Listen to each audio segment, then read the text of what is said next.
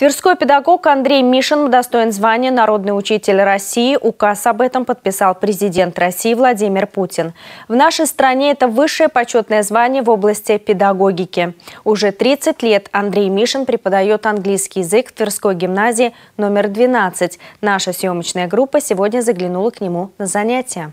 It's very important, first of all, I think, when the goals coincide, yes, when we understand what we want from each other, yeah? Андрей Мишин уже давно один из знаменитых учителей нашего города. В каких только общероссийских и даже международных конкурсах и олимпиадах не побеждали его ученики. Научные пособия Мишина используют в работе многие педагоги. Сам он числится среди 30 лучших преподавателей мира. Мы не чувствуем, что мы находимся в классе.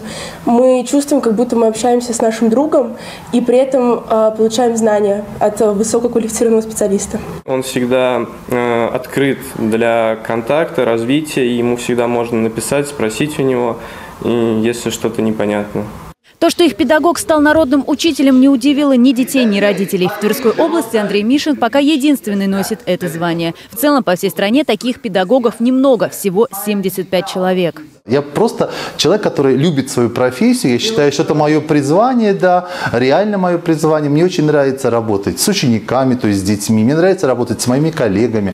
Эти учебные пособия – результат четырехлетней работы британско-российского авторского коллектива под руководством Андрея Валентиновича. К созданию учебников педагог также привлекал и своих учеников. Ну, английский нужно учить постоянно, потому что это такой язык, а язык – это вещь развивающаяся. Делается больше упор на то, чтобы мы и сами как-то развивались, изучали английский именно в той сфере, которая нам самим нравится.